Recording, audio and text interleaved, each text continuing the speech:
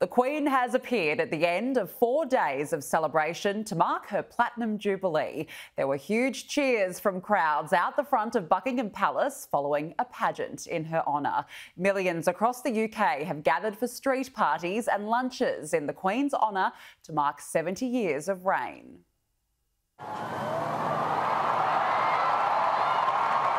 There was only one finale the crowds had wanted and they got it. The Queen stepping out once again, her heirs alongside her for a moment that even for them was breathtaking.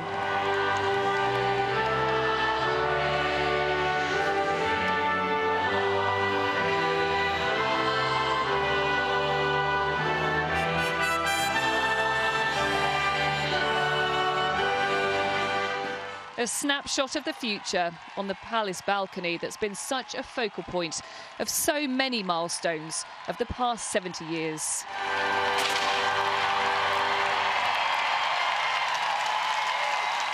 Sending a message to the nation, she said, While I may not have attended every event in person, my heart has been with you all, and I remain committed to serving you to the best of my ability, supported by my family. I have been inspired by the kindness, joy, and kinship that has been so evident in recent days, and I hope that renewed sense of togetherness will be felt for many years to come. They started the pageant by taking us back. The centrepiece, the gold state coach she used in 1953. The young monarch once again projected inside, bringing the coronation to life for a new audience. Behind the perfect military pageantry, a distinctly British display.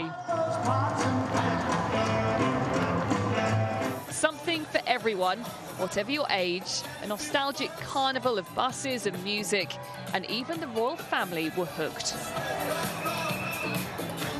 The younger ones at times were a little restless, but generally on best behaviour.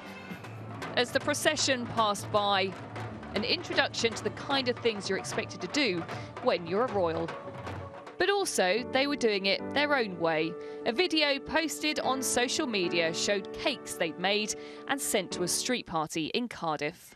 Grandad Prince Charles and Camilla hosted the flagship big lunch at the Oval Cricket Ground in London. To Her Majesty the Queen.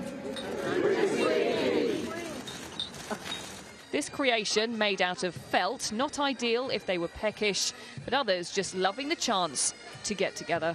And it's just amazing to hear all the fantastic things that, that are going on within our communities. The lunch was brilliant. Uh, this is like a lifetime something which I will never forget. It was a great day to be uh, out here celebrating the big lunch and yeah, just I love the cake decorations that have been around. Prince Edward and Sophie joined one virtually in the Queen's back garden on the long walk in Windsor as people back on the Mall started to reflect on the weekend. The whole thing's been such a party really finishing with like you know dancing, joking. It's all been fantastic, and to see the Queen was an added bonus. Oh my goodness, that just uh, made our made yeah. our dream come true. She's amazing, isn't she? She's just the most inspirational woman ever. Oh, and what and a great choice of outfit! You couldn't miss her, could you? Absolutely brilliant. It produced what will be iconic pictures of these celebrations. A weekend where the Queen has shown us her faith in her family and encouraged us to believe in them too. Always with one eye on the future, she's once again made history after a spectacular 70 years as Queen. Rhiannon Mills, Sky News at Buckingham Palace.